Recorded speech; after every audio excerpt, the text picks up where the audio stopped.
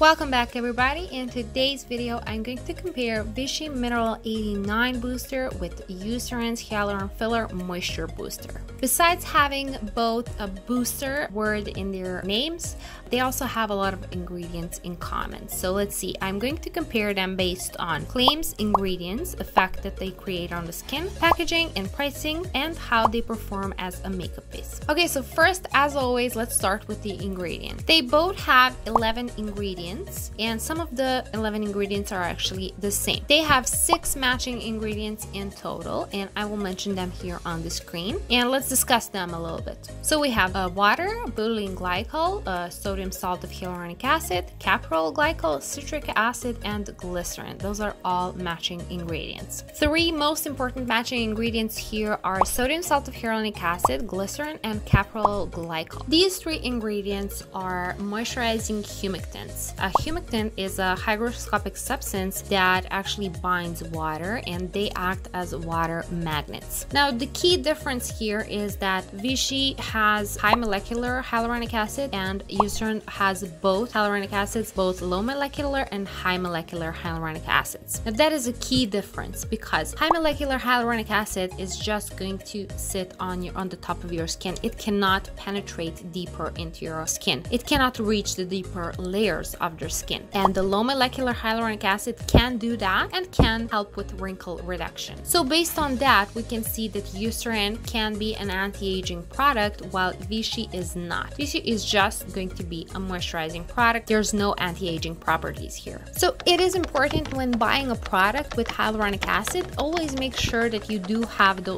both types of hyaluronic acid, the low molecular and the high molecular one. Then we have glycerin and caprylyl glycol. These are both very good moisturizing humectants as well. And then we have butylene glycol, water, and citric acid. Now, butylene glycol is a solvent, and usually butylene glycol's main job is to be a solvent for other ingredients. And it's also a humectant, and it helps the product spread nicely. Water, I don't think I have to say anything about water. Water is just the most commonly used uh, solvent in the beauty industry and that's it's the cheapest solvent uh, out there. And then we have uh, citric acid, which is actually an AHA, alpha hydroxy acid. But don't get your hopes high up because citric acid has less skin improving magic properties than the glycolic or lactic acid.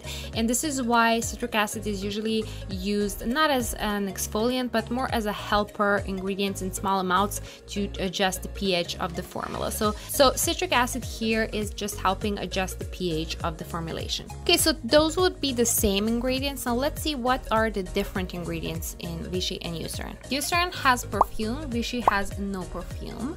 Eucerin has alcohol, Vichy does not have alcohol, but it has mineral 89, uh, while Eucerin does not have mineral 89. Vichy has mineral 89 because they are advertising their product as something something that is going to help with strengthening and repairing your skin barrier. And that's the main claim that they have. While Eucerin has different claims. Eucerin says that their product is for first aging signs, for the first wrinkles, and it gives you the moisture. So that's why they don't have any mineral 89 and they don't talk about the skin barrier, but they do have alcohol. Some people would say that alcohol is bad, being so high up in the ingredients list because it is listed second, and they actually all companies list the ingredients from the ones with the highest concentration to the ones with the lowest concentration. So that means the first ingredient listed has the highest concentration and the last ingredient listed has the lowest concentration. So if we have alcohol in the second place, we can assume that that is somewhat a higher concentration than usual. And uh, some people ask me like, oh, is this a good alcohol or bad alcohol? So I thought I might use this opportunity to, to tell you a little bit more about alcohols. In chemistry, alcohol is any carbon-based compound that contains uh, a hydroxyl uh, group but not all alcohols have the same properties on your skin. For example, we already mentioned glycerin. Glycerin is also an alcohol, but this is something that on the internet people would call a good alcohol because this is a humectant and it's a moisturizer and this really uh, moisturizes skin and hydrates the skin really well. When people talk about uh, so-called bad alcohol, and I have to put uh, quotation marks here, they mean ethanol or ethyl alcohol or SD alcohol or uh, alcohol denatured. And this is the alcohol that is found in most alcoholic drinks. Now, the main concern of people is that is that alcohol is drying out the skin but there's a really good video online by lab muffin uh, science and i will link it right here. So if you want to hear in-depth explanation about alcohol go ahead and watch this video. It's amazing. And i will just give you a brief explanation here. Alcohol is used for dissolving ingredients that cannot be dissolved in water. It's also used as a cleaning agent. It's also used if it's a higher concentration it's uh, used as a preservative. It actually improves the application properties of the product. It uh, makes helps the formula spread out uh, really easily and it also can act as a skin penetration enhancer because some active ingredients uh, cannot go through the skin deeper and then alcohol helps with penetration of those ingredients. So there are a lot of different things that alcohol can be used for in the uh, cosmetic industry and it's not like you are washing your face or applying vodka straight to your face it's not like that like you have a really small concentration of alcohol in each of these products so it doesn't have it doesn't mean that it's going to be drying on your skin and that brings me to the next category in this video and that is the effect of the skin even though Eucerin does have alcohol listed really high up second second place in the ingredient list. It's not drying on the skin, it's very moisturizing. It's amazing. I love it. While Vichy on the other hand doesn't have alcohol, but it is drying and it's not moisturizing enough. This is a proof, like comparison of these two products is proof that alcohol does not have to be drying in products. And if a product doesn't have alcohol, it doesn't mean that it's going to be moisturizing. So keep that in mind when purchasing a product and when uh, looking through ingredients list. Don't say no to a product just because it has alcohol. It doesn't mean that it's going to hurt your skin and that it's going to dry out your skin. Now, because some people online claim that Vichy should be used only when layered underneath a moisturizer, and of course that is logical because it only has humectants, and people say that that's the only way that it performs. Even though that is not something that is stated on Vichy's website, I still decided to test it out. And on one side of my face, I applied Vichy, and then right after that, I applied an occlusive moisturizer. This is Nivea soft i already did a review on that one you can check it out on my channel and then on the other side of my face i only applied nivea soft cream and i came back one hour later to check if the vichy side of my face was more moisturized so there you go, I waited for one hour and then I performed a little touching test to see if the Vichy side is had more moisture. And to be honest, I couldn't really tell the difference. Both sides of my face were equally moisturized. There wasn't a significant difference here.